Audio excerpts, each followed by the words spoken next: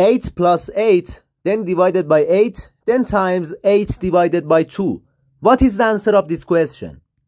Hi friends and welcome to Turbo Maths channel. In the wrong way of solving this question, some people start from the left and simplify. 8 plus 8 equals 16.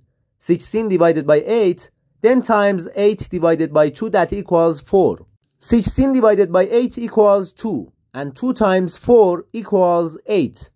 But this answer is wrong. Let's solve this question step by step together. To solve this question, we need to follow the PEMDAS rule.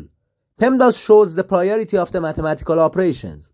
If you don't pay attention to this rule, you get the wrong answer.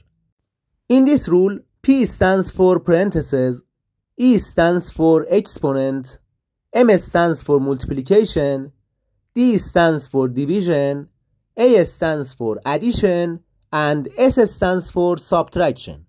Multiplication and division have the same level of priority, also addition and subtraction have the same priority.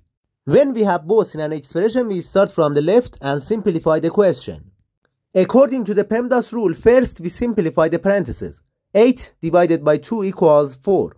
Now we have 8 plus 8, then divided by 8, then times 4. Because we have division and multiplication, we start from the left and simplify the question. First, we do this division. 8 plus 8 divided by 8, that equals 1, then times 4. In this step, we have addition and multiplication. First, we do multiplication. Because the multiplication has higher priority than addition. We have 8 plus 4, that equals 12. The final answer of this question equals 12. Thanks for watching guys. Please subscribe to the channel and leave a comment. Goodbye.